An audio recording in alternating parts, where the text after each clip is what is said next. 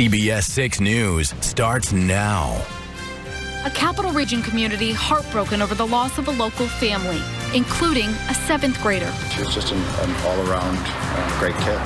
How the school district is planning to help other young students cope with this tragedy.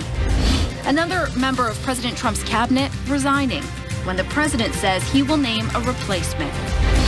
A fallen firefighter laid to rest, the tribute his colleagues gave him, and the special message they want to give the little girl he leaves behind.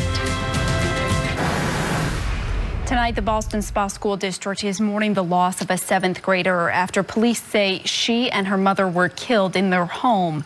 Her father, police say, then took his own life. Tonight, authorities are calling this a murder suicide. CBS 6's Steve Majiri reports.